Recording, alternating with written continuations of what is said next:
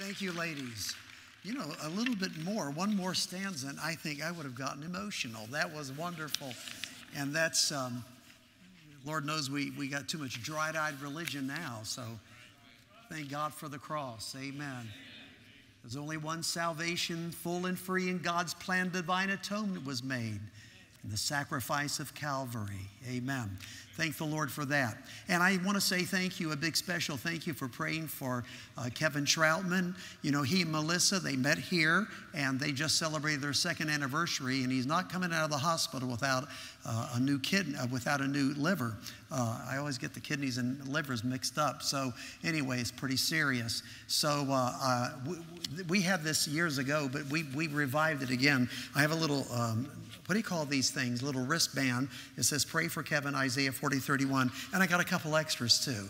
And so uh, if you like one, uh, if you would pray for Kevin, I'll be glad to give it to you, okay?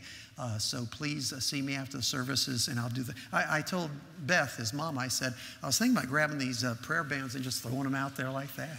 You know, but anyway, thank you so much um, for that prayer for Kevin and for his dear wife, uh, Melissa. Uh, they need your prayers, really do. I've been his pastor all of his life, and it's just really a very moving thing. I like to say that there is no man that I respect in the ministry, nor do I love more than Dr. Clarence Sexton. I thank the Lord for the friendship. I told him that I'm almost uh, dreading this night ending because now I'll lose my bragging rights for another year or so. Because, I mean, three months out, four months out, where are you going to be preaching? Well, I will be preaching for Dr. Clarence Sexton, you know. Uh, it, that's a nice name to drop, isn't it? Yeah. So, because uh, everybody loves Dr. Sexton, right? Okay, all right. I do. Amen. Well, if you have your Bibles, I'm going to ask you to turn to 1 Samuel chapter 4. But I'd also like to say thank the Lord for the men uh, and the ladies that have worked with Dr. Uh, Sexton and his wife Evelyn. Uh, since we're bragging about each other's wives, uh, I always am reminded that Dr. Sexton and I married above our pay grade. We sure did. And so uh, it was good to see Sister Evelyn a while ago. Notice what it says here in 1 Samuel, the fourth chapter. Let's go ahead and stand for the reading of God's word. In 1 Samuel chapter 4,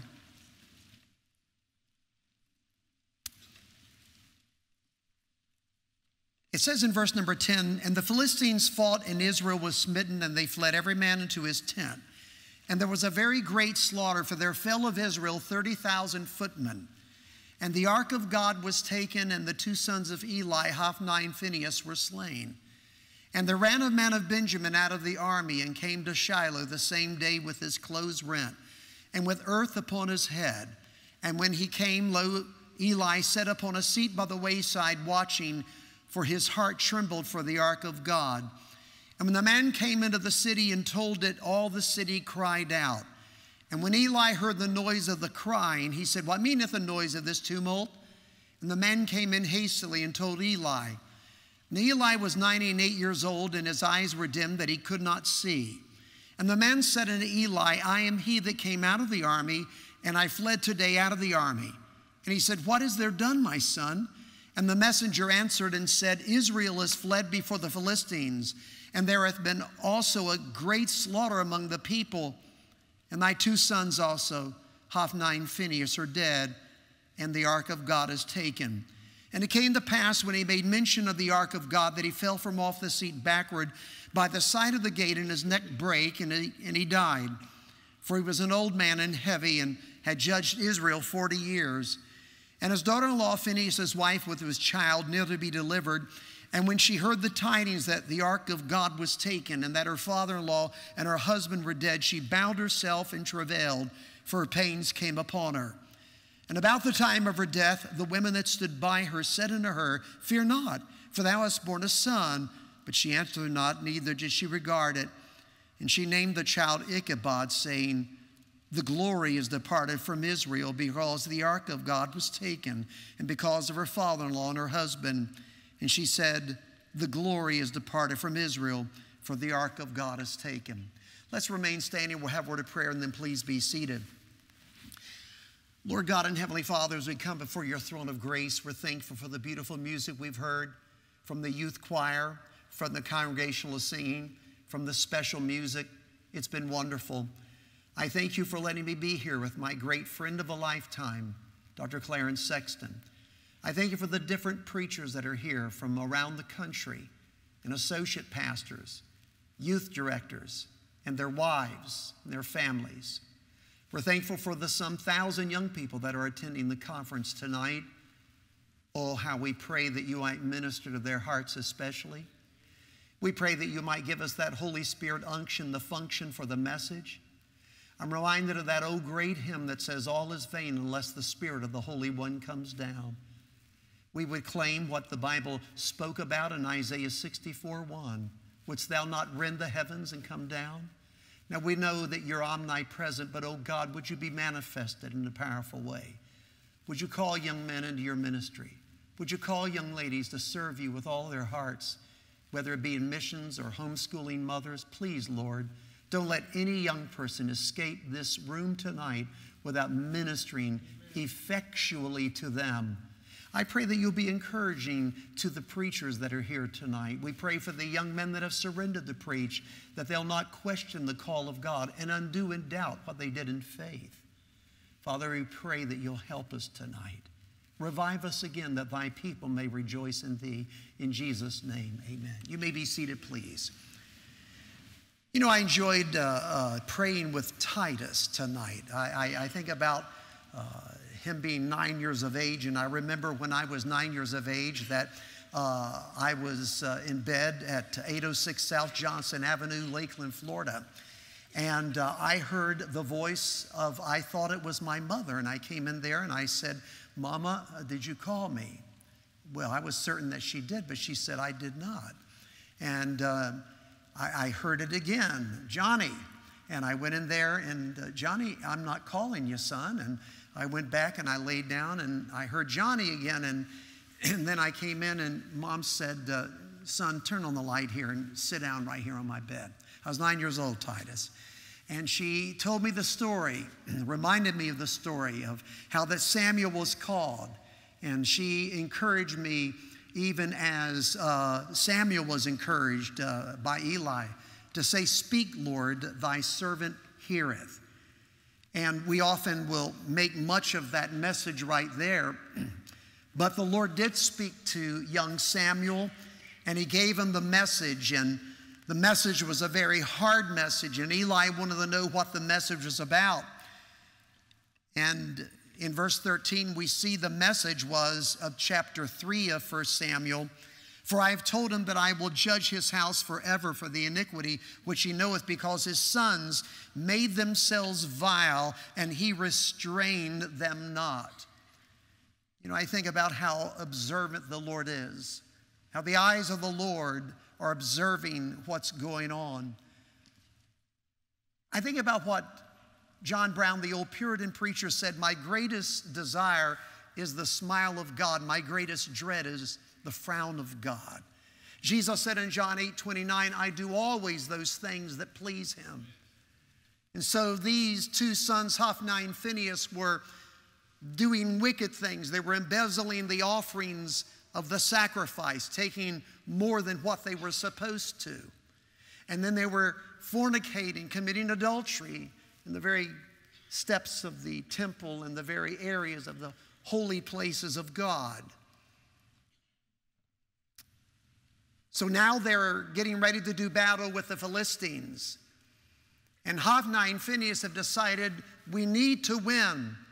Perhaps they were thinking back to the time that they marched around Jericho. They had the Ark of the Covenant, and they marched around Covenant and they marched around Jericho, rather, and the walls fell.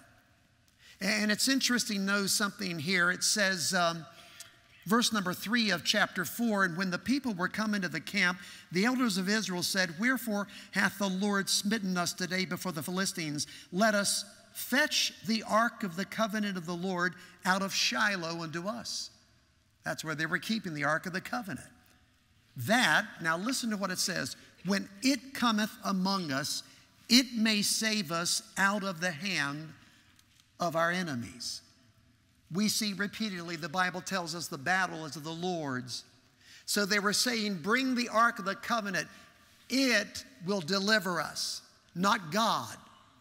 Superstitiously looking at the Ark of the Covenant as though the furniture was going to be what saved them. It did not save them, not by any means.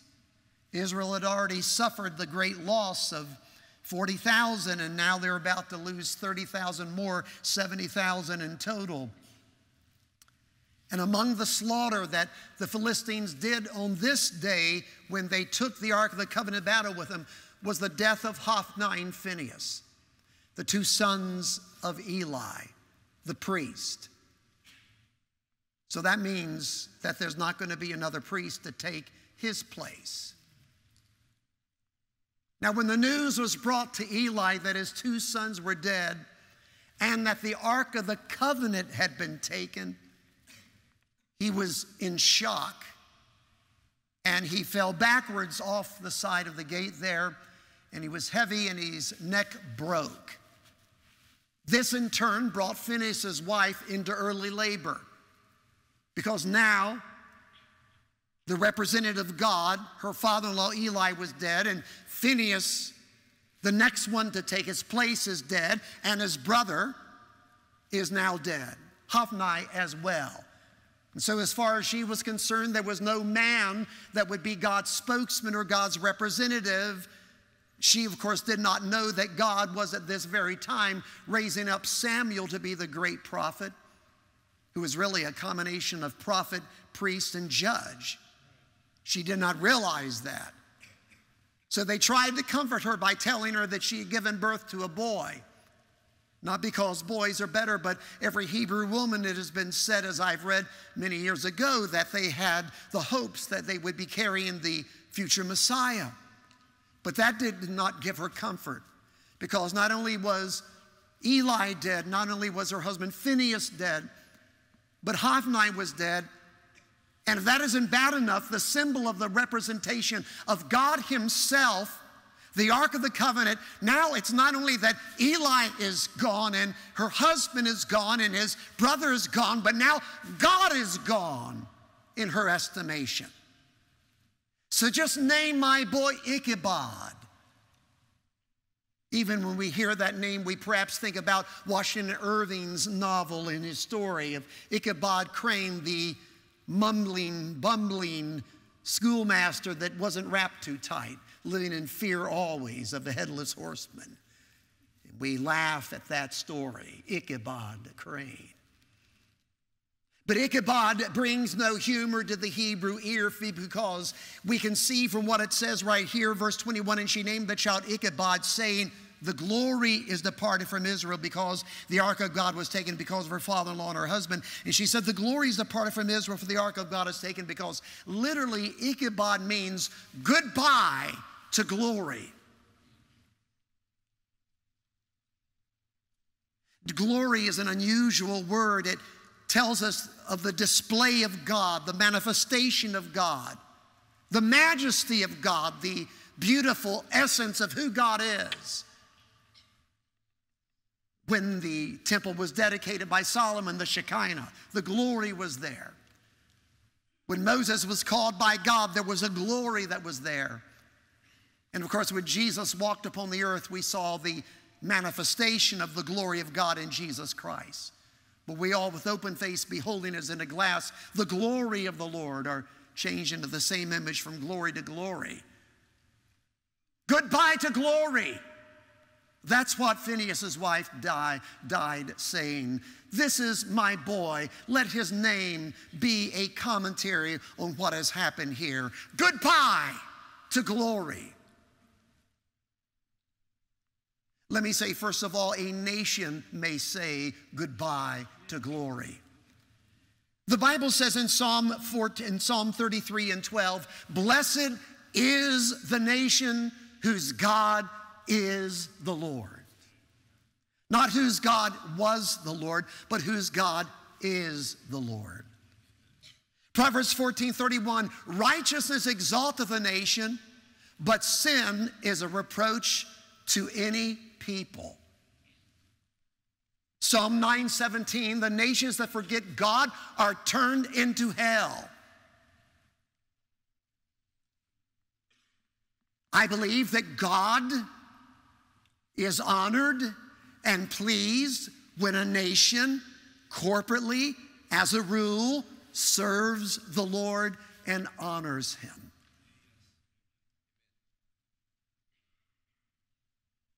You know, it's remarkable if you turn a page or two over here to, let's say, 1 Samuel chapter 8.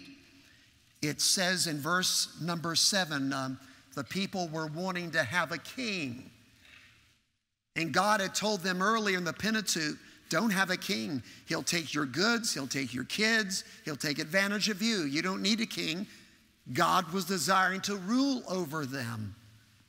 And Samuel's sons, like Eli's sons, were not living for the Lord. And so this was an easy time for the people to say, Look, there's nobody like you, Samuel, so let's go ahead and get a king.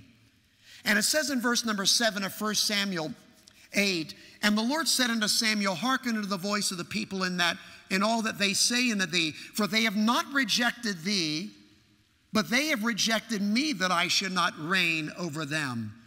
For they had said in verse 6, Give us a king to judge us. Give us a king. In 1982, Russ Walton wrote a book entitled One Nation Under God. He made a remarkable statement in the book. He said, America took God up on what even Israel turned God down on. We have chosen not to have a king.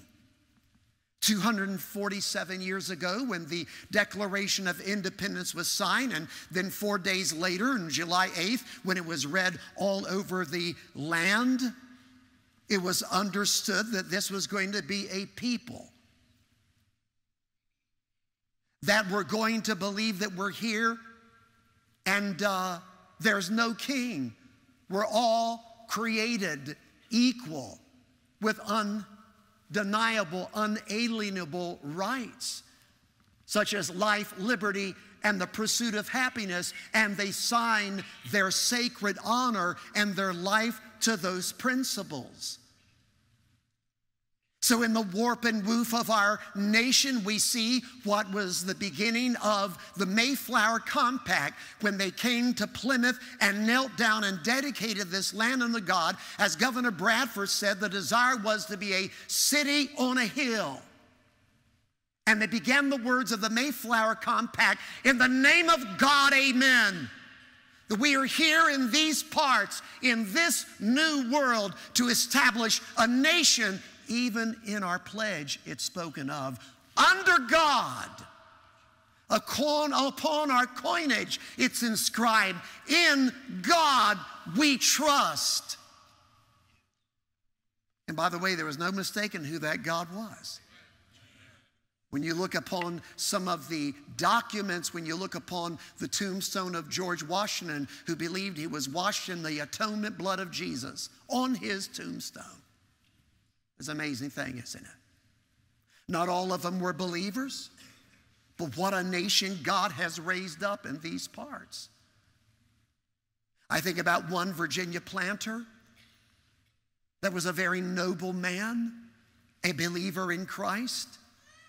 And in the days back in the colonial days of America, they did not have a lot of the medications to help people that would be in the situation that his wife was in. If his wife were alive today, she would probably be uh, diagnosed as schizophrenic. There were times that this great planter uh, would have special events at his house, and he would hear his wife crying out, and he would dismiss himself, and he would disappear, and he would find his wife. And if he had to go back to the crowd to keep her from killing herself, he would put chains around her arms so that she would not kill herself and mutilate herself. She was that far gone. He would quickly dismiss people if there was an event at his house, and he would go to his wife, and with the chains about her, he would place her in his lap and hold her close to his side, and then close in his lap, and then he would rock many times half the night or all the night, singing to her until she finally went to sleep, and then he undid the chains when she was asleep and calm and pray that another episode wouldn't come and catch them off gear. This planter also was an incredible lawyer.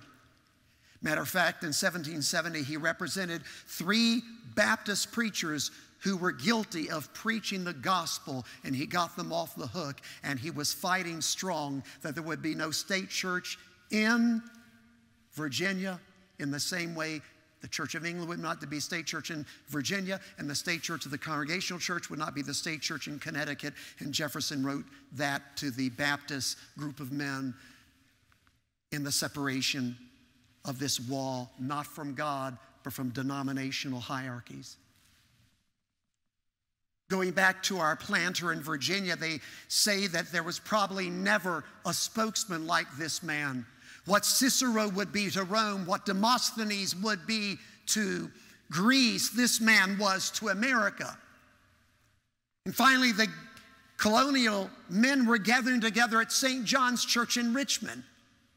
And they knew that this young lawyer, who was very faithful to his demented wife, and very hardworking in everything he did, fighting for the rights of freeborn Englishmen, standing upon the Magna Carta. They asked him to speak that day. In that crowd, there was a young man that did not know if he was going to be a Tory or a patriot.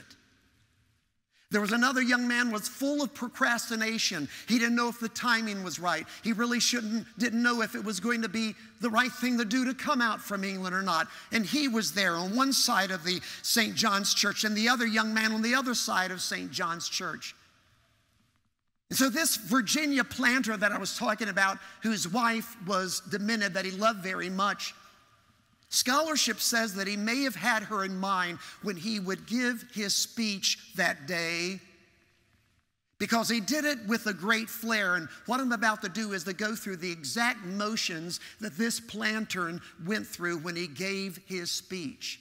And this is exactly what he said and how he said it. Is life so dear or peace so sweet as to be sacrificed at the price of chains and slavery? I know not what course others may take. God forbid, forbid it, Almighty God. As for me, give me liberty or give me death. And that's exactly the way he did it. The young man, not sure if he's going to be a Tory or patriot, was convinced after hearing that speech as he stepped out, and I've seen the very place he stood in the lawn in front of St. John's Church and determined, I am a patriot. And that was George Washington. The young man that didn't know for sure if the timing was right and if we really should be separate from England was convinced after hearing that speech that we should and that was another planter uh, by the name of Thomas Jefferson. Liberty or death. Liberty or death. And so the revolution began, which was really more of a revival, not a revolution, for they were standing on the rights of freeborn Englishmen against the divine rights of the king, whether it was Cromwell facing a Charles or whether it was George Washington facing King George. The city on the hill. A government by the people, for the people, but under God. 1976, I decided to do a study on the American Revolution. I thought that'll be nice. That, that's the 200th anniversary of America. And I'd like to know more about the strategy and the tactics and the genius of our warfare. Let me just share this with you. If I was not a believer, I would tell you that we're the luckiest country under sun, under God's sun. But I am a believer, and so I use the word that our forefathers used in our documents from the Declaration of Independence to the Constitution to the Bill of Rights. Providence! Pro video, video to see beforehand the providence of God protecting us, watching over us. Scholarship says in the fight for our freedom, there was one officer who was the greatest field commander that America had. You might think, was that Greene in New England? Was it Marion in South Carolina? Was it Washington himself? No, it was Benedict Arnold, the greatest field commander that we had. More than Knox, more than any of them. And if you go to Ticonderoga, you'll see the statue of a boot paying tribute to the only part of Benedict Arnold's body because he nearly lost his leg fighting for America in the Battle of Ticonderoga before he turned at West Point. Strange, isn't it? I think about those boys who literally, with their bandaged feet, stain the snows of Valley Forge with their blood. Those who did not turn coat, these were not, as Paine said, the summer soldiers or the sunshine patriots. These were the men who, though their souls were tried, stayed with the stuff.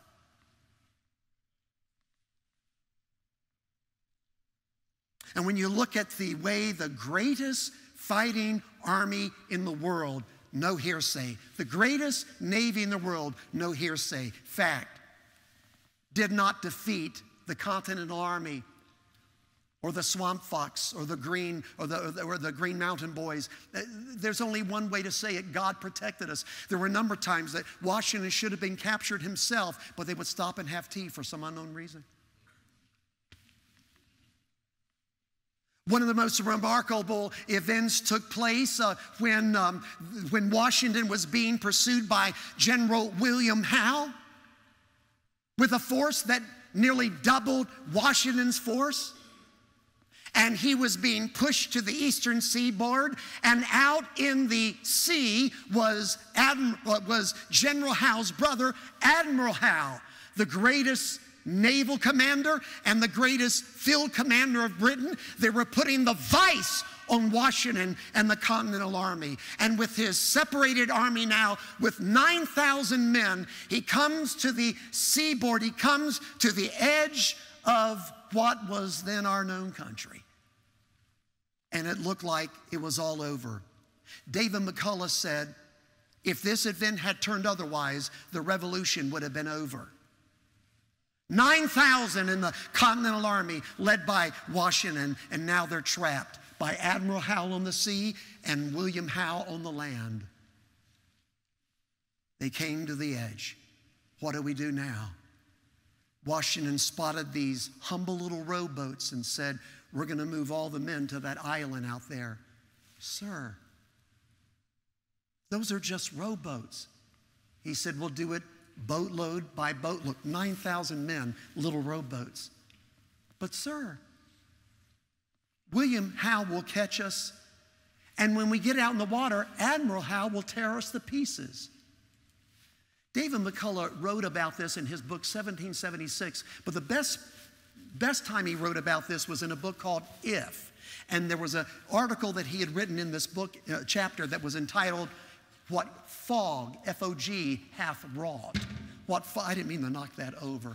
I'll get it because it's making me nervous. Okay, here we go. All right. Now you stay there. I'm in a little bit of a revolution here myself. Okay. So, so what happened, what fog hath wrought, what happened when he began to put the first men on these little rowboats, the deepest, thickest fog came.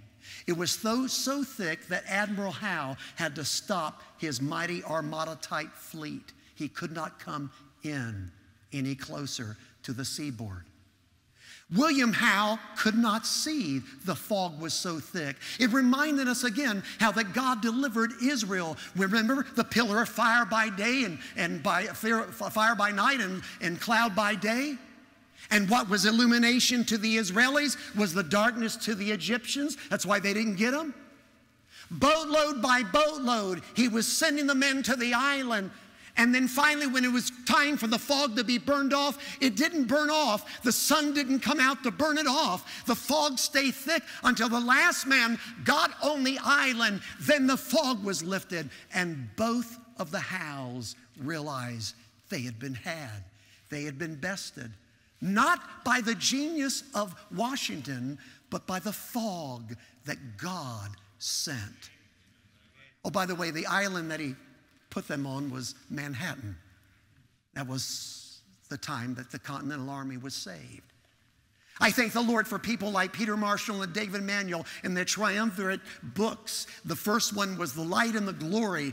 And remember, these boys from Yale decided to do a, a study on the Revolutionary War, and they went to Harvard and they dug in the archives.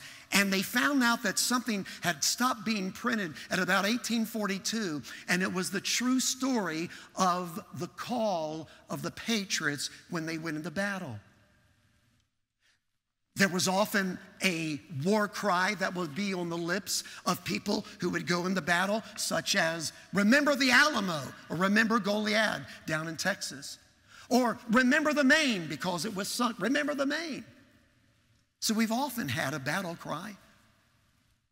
David Manuel and Peter Marshall discovered that there was a battle cry on the lips of the young men who were at Breed's Hill, known as Bunker's Hill. Ticonderoga, Concord's Bridge, Lexington's Green, Yorktown's Approach. There would be young men dressed in buff and blue, and many, if not most, in buckskin.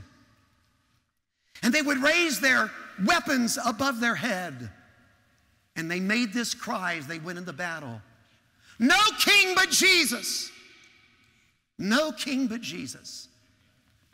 Yes, a nation may say goodbye to glory. When you think about how far we've come and where we are right now, my friend, we need to understand that old Abraham Lincoln had it right. 657,000 young men died in four years.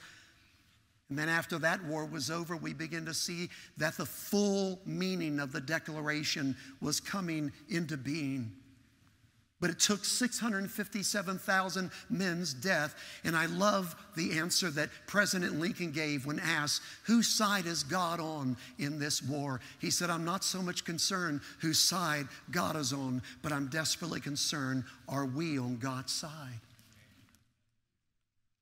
I'm fearing the Lord tonight because of the condition of our great country. 1982, there were two men that were arrested for being caught committing homosexuality in act. Arrested because it was against the law to commit homosexuality, against the law in the United States. And now, not only is it being excused, but now it's being promoted. Did you ever think that you would live today, here today, when the Supreme Court of the United States says that it's okay for a man to marry a man or for a woman to marry a woman? This is against the very law and nature of God who created Adam and Eve, not Adam and Steve, okay? That's the Word of God. Would you ever think that we'd be in a day and age where they're encouraging children not to tell their parents if a boy desires to be a girl or if a girl desires to be a boy? This is so ludicrous. People are saying, but what about this? Let me tell you something, be people. All have sinned and come short of the glory of God. Don't be surprised when kids think sinful thoughts. I remember I was staying in a home of a preacher and his family preaching a revival many years ago. And you know how it is, brother, uh, you know, when we were younger preachers, we'd often have to stay with the preacher during the revival meeting. And it's usually a, a preacher that had a lot of kids in one bathroom. And I, and I remember I was waiting on that bathroom, and, uh, we were, and it was, we had to be at services that morning, and I thought, man alive, whoever's in there's in there a long time. And I noticed the door was cracked, and I thought, well, somebody might be in there, but uh, it looks like something's going on there. And so I kind of eased the door open. I said, hello, hello, hello. And there his little four year old daughter named Grace had just powdered, had her mother's powder puff in one hand, had her mother's powder in the other hand. She had just powdered the bathtub. She had powdered the commode. She powdered the sink, powdered herself from head to foot. And I looked at her and I said, Grace, have you been in your mother's powder? She looked at me and said, Ah, no. Now, I happen to know that her mother and daddy didn't teach her how to lie. Why don't you give those children the opportunity to be children and work through their sinful imaginations? God will straighten them out. especially when they come into puberty. Let me tell you something. I remember when uh, I was a young boy in elementary school, the girls had cooties. And then as I got older in junior high and high school, I thought maybe cooties weren't so bad. it happens as you grow up. But we live in an insane asylum now run by the inmates, and people in the educational world are thinking that it's okay for a child to mutilate their body to the extent that when they do come to their senses, they won't even be able to have children because of the mutilation. This is unbelievable. We are living at the precipice of the wrath of God about to be dumped on us. Unless we have revival. It's not just going to be neat if we'd have revival, nice if we'd have revival, great if we'd have revival. It's necessary that we have revival. Which leads me to the next point. Before a nation ever says goodbye to glory, the church said goodbye to glory first. I was telling Brother uh, Sexton we're looking forward to in September going to Hebrides. That's where they had the great revival. And guess what the leading element was in the Hebrides revival youth, the young people, Brother Sexton. The young people would have a prayer meeting, and they say that the prayer meeting was so real in the Hebrides that if they were to measure, there was a literal 0.7 on a Richter scale that shook their Isle of Lewis. They were claiming Isaiah 64 1, which thou not rend the heavens and come down, and God came down. It is estimated that every accountable person on the Isle of Lewis between 1949 and 1952 got born again. And the catalysts were young people. The Great Welsh Revival, young people. In 53 years of ministry, when I've seen revival break out in churches, it was often the young people. And even today, I go to churches and I hear some of the young people who come back from a youth conference like this or a youth camp got on fire for the Lord, and older brothers and sisters and moms and dads caught it. I'm pleading with the young people today to be revived. You could be the catalyst of our country. The hope of America's revival may very well be in this room right here right now on this night. And that is my hope. Well, what should I do, Brother Pope? How about this? Get cleaned up. Psalm 66, 18. If I regard iniquity in my heart, the Lord will not hear me. Is there a habit in your life? Have you been looking at pornography? Have you been in the chat rooms doing things and saying things you shouldn't be doing? Are you worshiping the idol of your screens? Are you experimenting with tobacco or alcohol? Wine is a mocker, strong drink is raging. Whosoever is deceived thereby is not wise. Look not thou upon the wine when it is red. We believe in the Bible teaches total abstinence. It's not fun to experiment with it. And there's a lot of pussyfooting compromisers out there that think that it is okay. It is not okay. We believe in total abstinence. We're Bible believers. Amen. You know, there's not going to be any drunk drive, drunk driving accidents if there's no drunks. And there's not going to be any drunks if you don't drink. How's that? As the kids would say, that's a real duh moment. We're at the point where it's necessary to have revival. Get cleaned up, young people. Get cleaned up. Need you to get your prayers answered. If I regard iniquity in my heart, the Lord will not hear me. Let's be right with God. You know what? I think it's time, young people, it's time for you to get involved in the Great Commission. Go ye in all the world and preach the gospel to every creature. He meant it. Jesus said in John 5 34, say, John 5, he said, Say not ye there yet four months, and they come of the harvest. Behold, I say unto you, lift up your eyes and look on the fields, for they're white, already to harvest. Dr. Rice said the closest thing to the heart of God are the lost souls of men. That's what he had in mind when he was dying on Calvary. Ezekiel 33 in verse number 8 If thou dost not speak to warn the wicked man from his wicked way, that wicked man shall perish, but his blood will I require at thine hand. Why are you waiting till you're in your 30s, 40s, or 50s to be a soul winner? He that winneth souls is wise. The antithesis is true. If we don't win souls, we're not wise. We sit upon the stool of do nothing and whittle upon the stick of do less, wondering, why doesn't God move? Why don't you move? Waiting on the Lord doesn't mean that we sit there complacency with a mediocre spirit. It means we wait on God to do what God wants to do. But let, let's also develop the heart of God and do what Jesus did when he said, The Son of Man has come to seek and to save that which is lost. Are you seeking? Why should we be soul winners, young people? Because of the brevity of life. And because we are told to be soul winners, not if you feel like it, but be witnesses. After that, the Holy Ghost has come upon you. Ye shall be witnesses. You know, I didn't know this till 40 years later. 40 years later, you just never know. You just never know. But someone told me, Brother Pope, when you were in your first year of college, you approached a crowd of boys in a car and you perceived that they were pretty rowdy, and they were, and up to no good, and they were, and you came at that car with tracts and you begin to witness to them. And it was the strangest place because, strangest thing, because I said, Was it this place and that place at this time? And they said it was. I said, Strange as it may seem, I do remember that. And do you remember what you said? And I do remember what I said. The young man was driving, that was driving.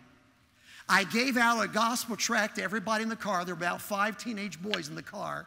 And they all started laughing and making fun. And as they were laughing and making fun, I said to the driver, who was kind of the lead proponent of it, I said, Young man, I want to tell you something. and I was a young man myself. I said, um, You're laughing and carrying on, but you may not make it to the next street. You could be in a wreck and you could be killed. And if you die without Jesus, you're going to go straight to hell. And that won't be very funny at all. And he laughed at me and he burned the rubber as he sped away. 40 years later, I found out when they got to the end of the street, they were in a horrendous wreck. And he was in a coma for three days. When he came out of it, the tract was in his hand. And he read the tract, got saved. Oh, I need to tell you, Brother Pope, he's pastoring a church, I think, in Missouri now. You know, I was thinking about that when that was recently told to me. I said, you know, we sometimes forget when we are about the master's business and the church is being the church, which is to be witnesses unto him. You're my witnesses. That's what he said. He, he's about to ascend. He says, You're my witnesses. Now go and preach and give the gospel. But here's what I think that we forget, and that is when we're soul winners, we're partnering with God. Well, Brother Pope, you're up there screaming and hollering. Do you always feel like soul winning? No, I don't. And I, and I hate to admit what I'm about to tell you. Nearly every time I go door to door, I still get the butterflies and I dread it. But I've never regretted going. And you know that's the truth. And I remember I was in prayer time uh, one, one, one night, one morning very early. And have you ever been praying and a certain song comes to you? And this song, Lead Me to Some Soul Today, came to my mind. Lead me to some soul today. Oh, teach me, Lord, just what to say. Friends of mine are lost in sin and cannot find their way. And I remember I was praying and I said, Lord, I have kind of lost my cutting edge for personal evangelism, and I'm sorry about it. And I remember the Lord speaking to my heart and said, Hey, son, not only should you go out with your church on visitation, but, but take advantage of every opportunity I give you to be a witness. A lot of times we look at soul winning as something we just clock in and we clock out. But we're to always be witnesses, always seeking the lost as Jesus was, whether it's a woman at the well or whether it's Lazarus or whether it's Zacchaeus up the tree. Oh, listen to me. That's what we all are to be doing. And I remember speaking to the Lord that morning saying, Well, Lord, I'm going to start taking better advantage of this. And I remember I had a long things to do list, and I made a hospital call, and I was heading to another hospital. So I took another side street that I normally don't take called Red Oak there in Houston. And I saw a bus stop, and there was a young man sitting in that bus stop. Somebody might say, Do you believe the Lord speaks to you? Well, if you're listening to him, it's louder than an audible voice when he begins to speak to your heart. And I remember the Lord spoke to my heart, witness of that young man. I said, Well, Lord, aren't there other people that can witness to him? And I heard it again witness to him. Lord, I got a lot of things to do, and I'll be preaching tonight. I'll be witnessing a lot of people tonight. Witness to him. And I said, Lord, look, there's not even a place to park. And as soon as I said that, I saw a parking place right behind this bus stop. Don't argue with the Lord, He always wins. So I pulled into the spot, and I, will have to be honest with you, I wasn't in the mood to be a witness. And when we were in Bible college, we were taught mm, carry your New Testament with you like it's a derringer and approach people with the gospel, be nice and then kind, and at the given moment, pull the derringer out and hit it with the gospel gun. Boom! Well, I didn't feel like doing the derringer, I felt like using the Uzi. So it's the very Bible that I'm holding in my hands right now. And I got out of the car and I walked around to the bus stop and I said, Are you a Christian? He turned and looked at me and then I pointed it. I said, in other words, right now, if you die now, you go to heaven. And uh, if you're not a Christian, would you be interested in me showing you in the Bible? And that's about the way I said, would you be interested in me showing the Bible how to be a Christian? I remember he had this pronounced accent. He said, You know, I most certainly would be interested. I felt like saying, No, did you hear what I said?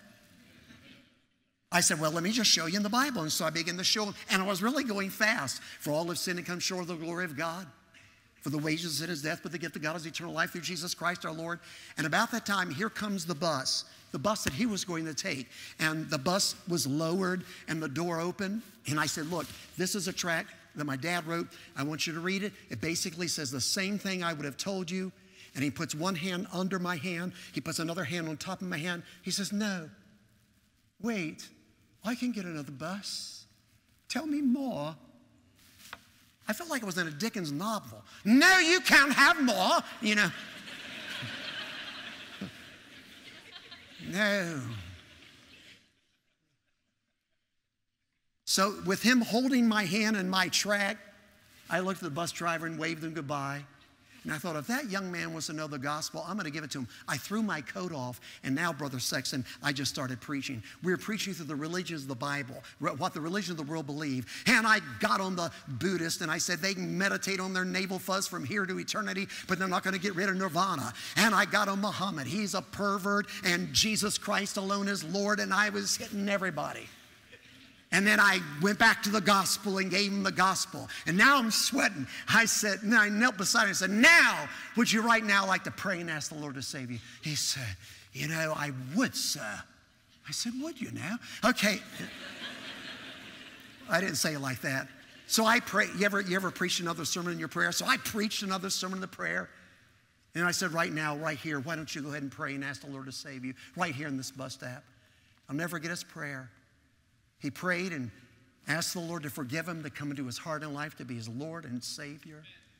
When he got through praying the sinner's prayer, he looked at me with his dark eyes glistening. He said, Isn't this brilliant? I felt like saying, By George, you've got it. Amen. and then he said, You know, I, am not from here. I felt like saying, You didn't sound like Tomball, Texas to me.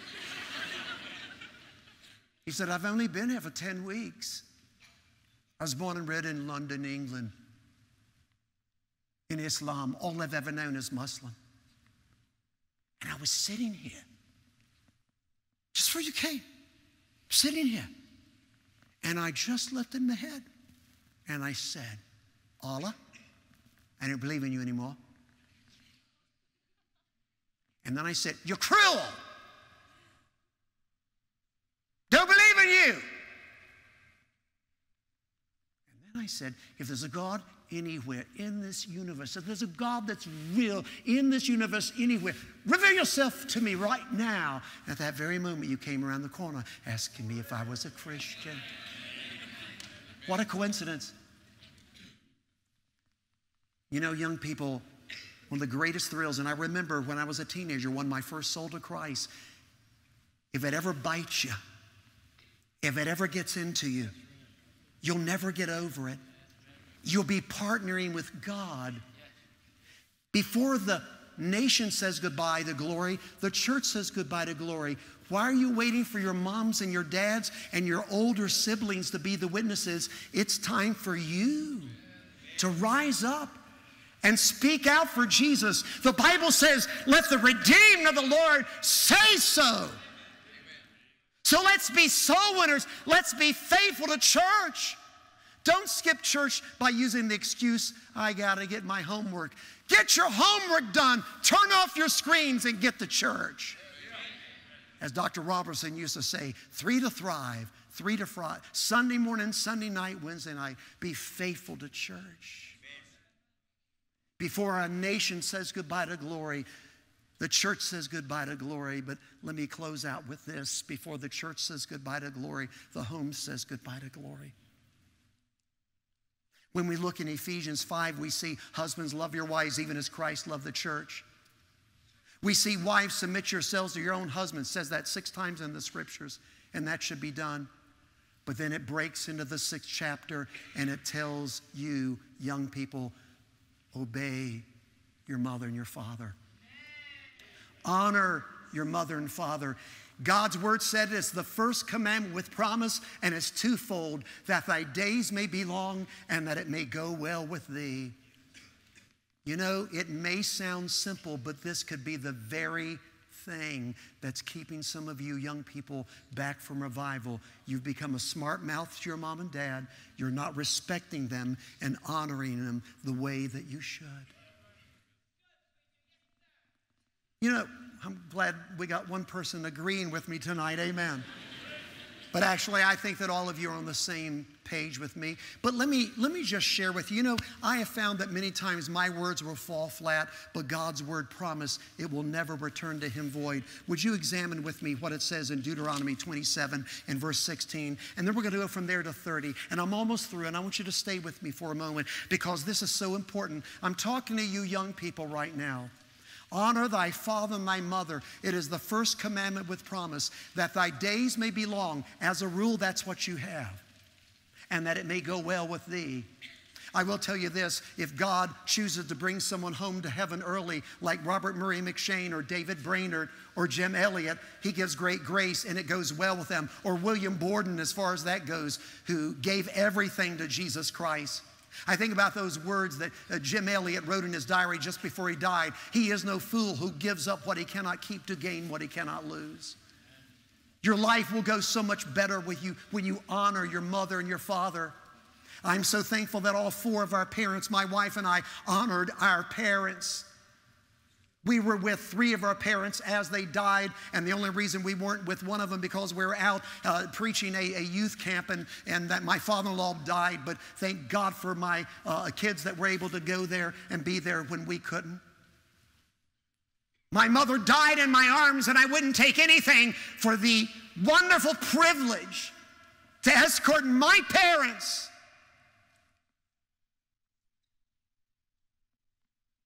to their future home in the glory.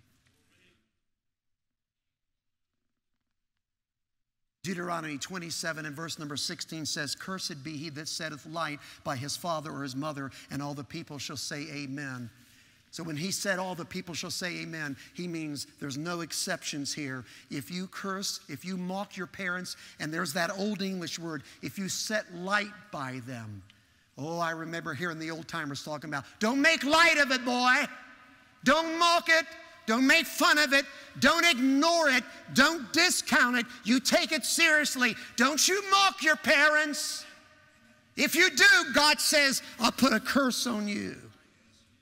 And the people together said, Amen.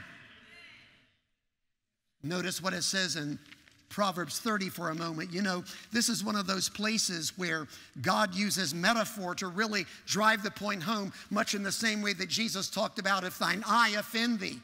And he talked about members of your body. It'd be better to go to heaven missing members than, than going into hell whole.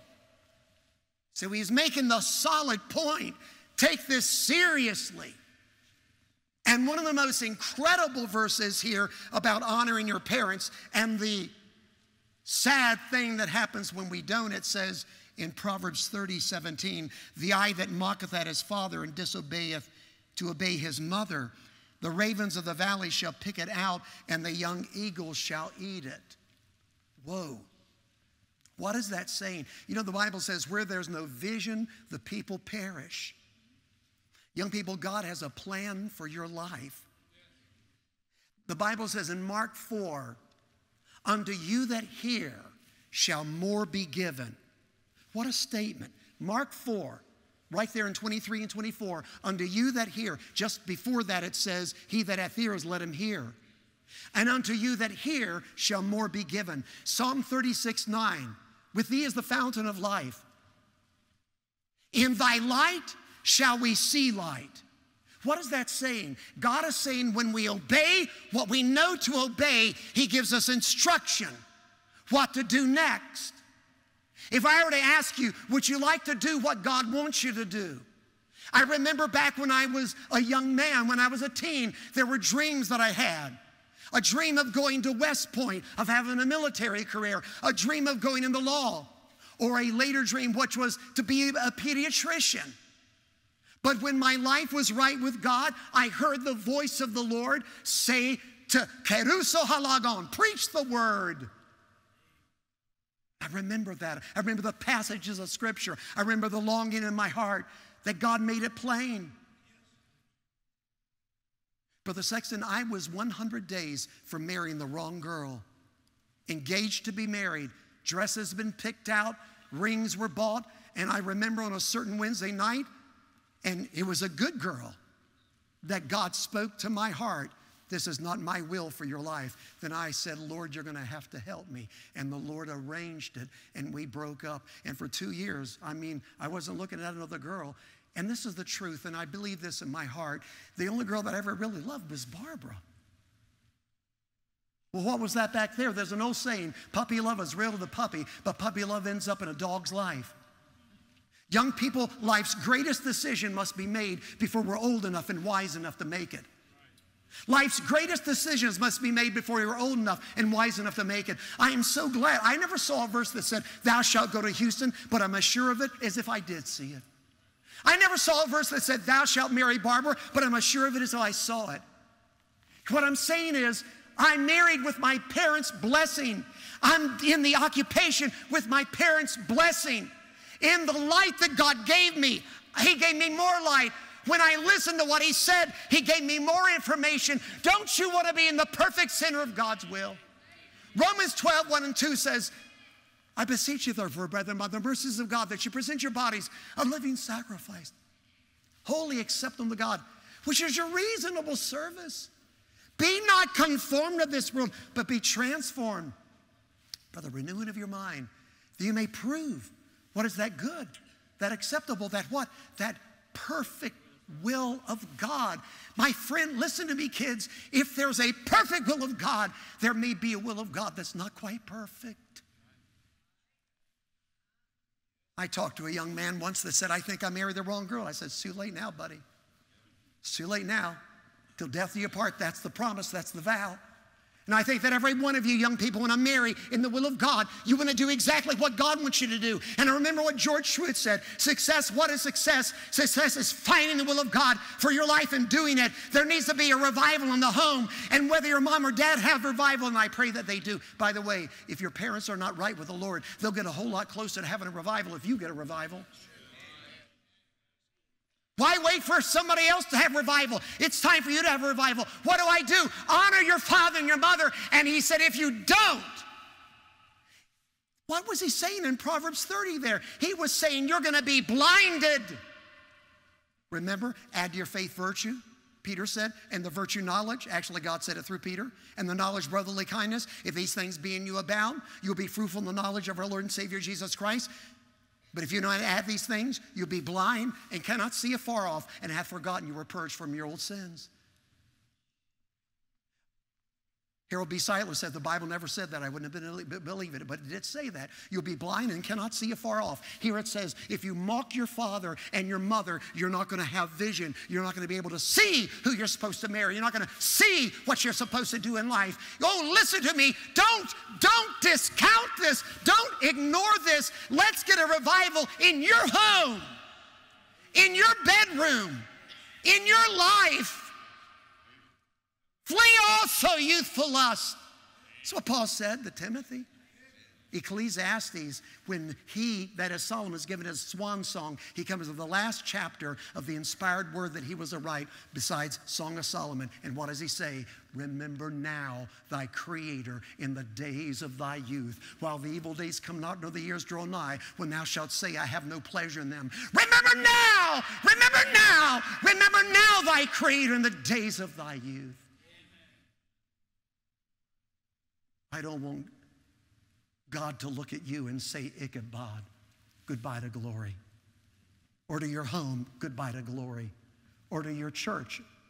And by the way, remember what he said to Ephesus? You've left your first love. He said, Do the first works. He said, If you don't, I'll come and take away the candlestick. By the way, if we lose the candlestick, we're not able to lift up the light. If we don't lift up the light, it's like the church becomes cold and indifferent. It's more like a museum than a church. And if a church says goodbye to glory, the nation says goodbye to glory. Oh, let's say, bring the glory back to our country, to our church, to our home, and specifically, young people, to you personally. Let's bow our heads.